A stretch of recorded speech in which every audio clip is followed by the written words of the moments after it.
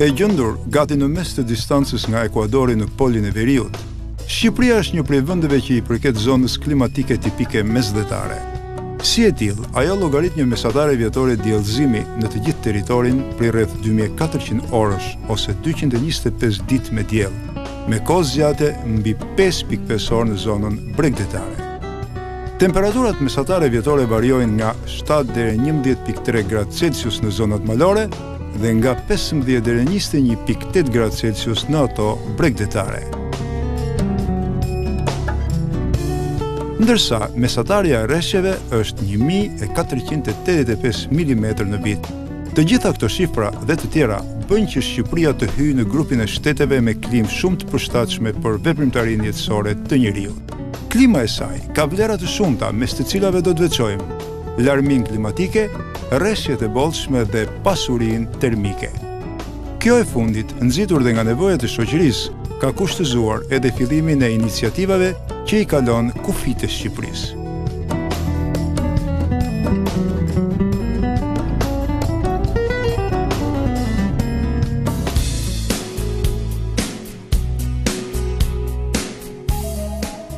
Referuar strategjisë kombëtare të energjisë, komunikimeve kombëtare të Shqipërisë ndaj Konventës Kuadër të Kombeve të Bashkuara për ndryshimet klimatike dhe vlerësimit të nevojave për teknologji, mbi 70% e nevojave për ujë të ngrohtë në sektorin e banesave dhe shërbimeve në Shqipëri furnizohet aktualisht nga ngrohësit elektrikë të ujit, ndërkohë që kërkesa e energjisë për ujë të ngrohtë në vend në sektorin e banesave është parashikuar të rritet nga 600 gigavat orë në vitin 2000 në 875 gigavat orë në vitin 2015.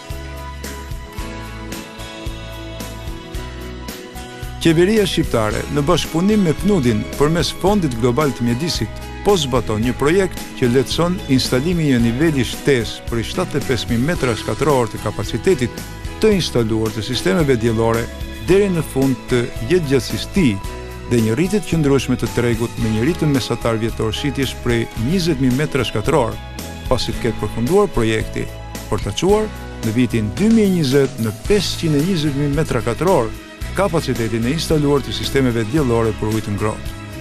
Reduktimi i shkarkimit të gazeve serrë është vlerësuar të jetë njëqind e dyzet e gjashtë mijë ton gaz karbonik në vit deri në vitin dy mijë e njëzet. Projekti ose programi i Shqipërisë nuk është i tipit që ne marrim, blejmë dhe instalojmë panele, nuk është ky qëllimi i programit, por synojmë që përmes pesë komponenteve të realizojmë objektivin e projektit. Komponenti i parë lidhet me kuadrin institucional dhe ligjor. Dhe neve kemi ndihmuar, asistuar Qeverinë shqiptare në kuadër të miratimit të Ligjit për Energjitë e Rinovueshme, por gjithashtu edhe të Planit Kombëtar për Energjitë e Rinovueshme, ku kapitulli i energjisë diellore zë një vend të rëndësishëm.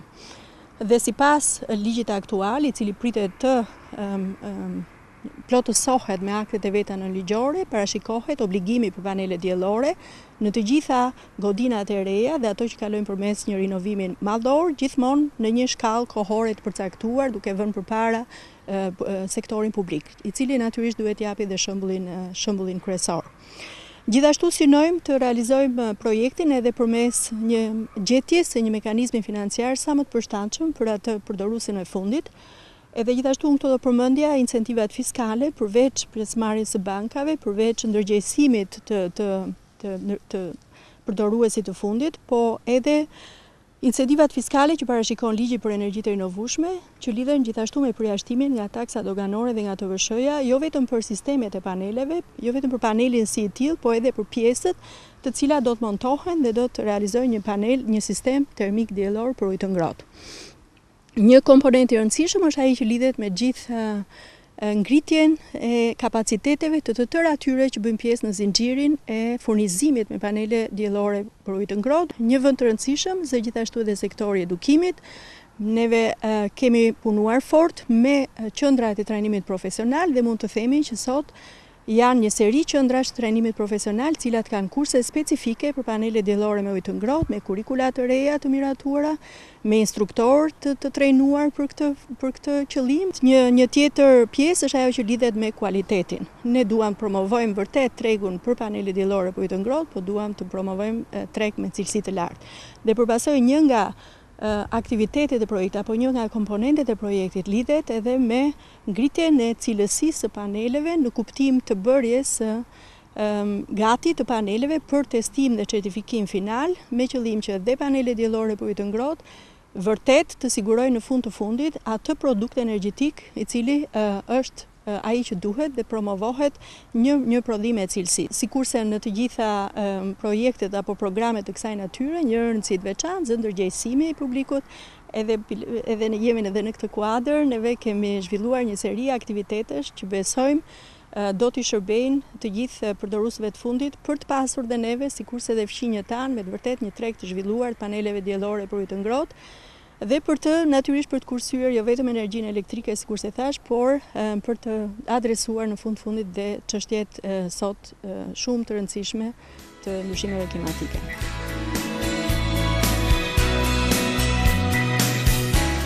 Instalimet janë rritur nga një total prej 50.000 metrash katror në 2009 në njëqind e dymbëdhjetë mijë metra katrorë në dy mijë e dymbëdhjetë, pra një rritje me rreth njëzet e pesë për qind në vit.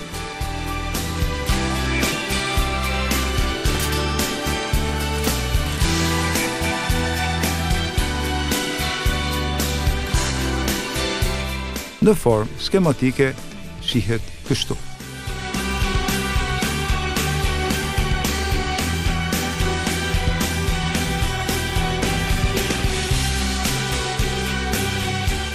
Përdorimi i paneleve diellore për ngrohjen e ujit vjen si një prej teknologjive më premtuese në Shqipëri, që mund të reduktojë përdorimin e energjisë elektrike dhe konsumin e druve të zjarrit, duke kontribuar edhe në reduktimin e shkarkimeve të gazeve me efektin serrë.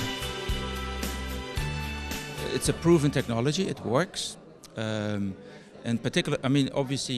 Aktualisht në botë ekzistojnë shumë potenciale të cilave u përgjigjet dhe një zhvillim teknologjik. Krahas kësaj, duhet të plotësohen disa um, kushte. Uh,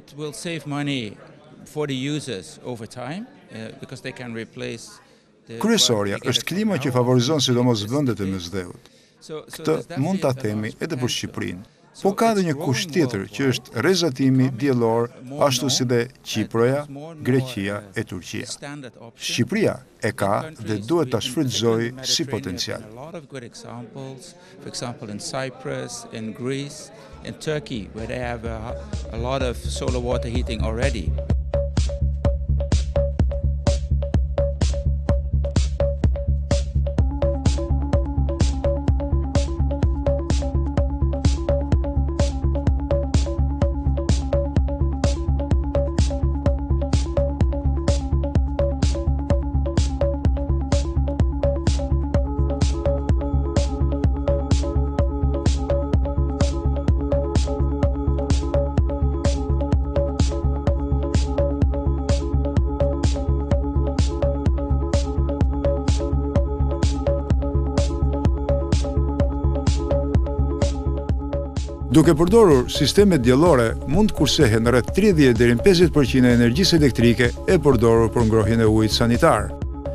Në sektorin e shërbimit dhe hotelerisë, pra konsumatorët më të mëdhenj të ujit të ngrohtë, zëvendësimi i bojlerëve elektrikë për ngrohjen e ujit me panele diellore është edhe më i vlefshëm.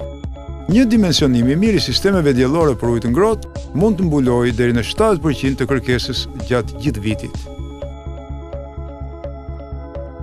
Për një familje në Tiranë me 4 persona, nëse monton një panel diellor të tipit termosifon me sipërfaqe optimale 3.5 metër katror, përfitimet e pritura do të jenë si më poshtë.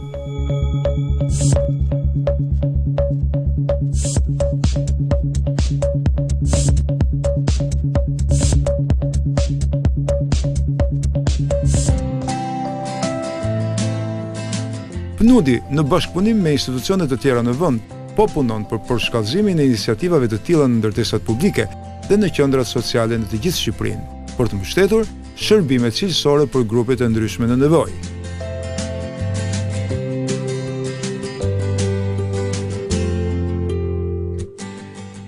panelet diellorë kanë ndikuar shumë tek shpia e foshnjes, te këta kalamajë. Kemi një kursim shumë të madh të karburantit, këtë pjesë të karburantit ne e përdorim për nevojat më jetike të kalamajve, gjë që na ka ndikuar pozitivisht në jetën tonë. Diçka shumë pozitive.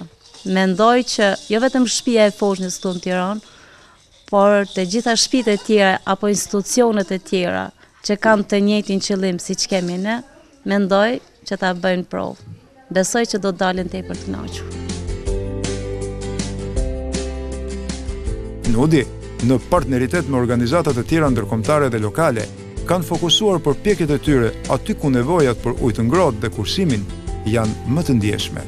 Përmes instalimeve në njëmbëdhjetë hane në fshatin e largët të Thethit, janë stimuluar shembuj konkretë jetësorë të ekonomisë së gjelbër siç quhet, që demonstrojnë në terma realë se si qasjet miqësore me mjedisin mund të sjellin rritje ekonomike, zhvillim, vende pune dhe të zvogëlojnë pabarazinë, duke sjellë një model të qëndrueshëm për zbutjen e varfërisë në komunitetet me të ardhura të vogla në këtë pjesë veriore të Shqipërisë. Projekti ka si objektiv madhor përmirësimin e jetës në këtë zonë dhe përftimin e energjisë elektrike. Të gjitha guest house-et kishin nevojë për sisteme të tilla.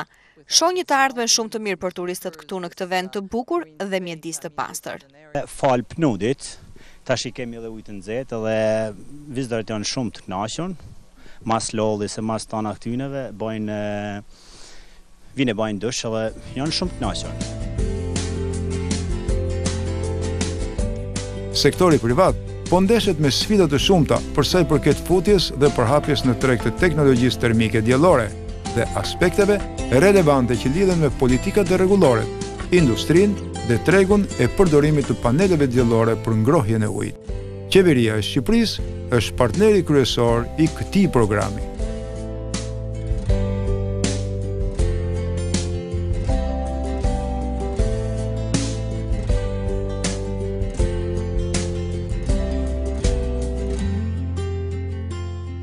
Qëllimi ka qenë që të promovojmë politikat, legjislacionin në këtë fushë në mënyrë që dhe Shqipëria t'i bashkohet trendit përgjithësisht në Europë për sa i përket me mirë efiçiencës në energji.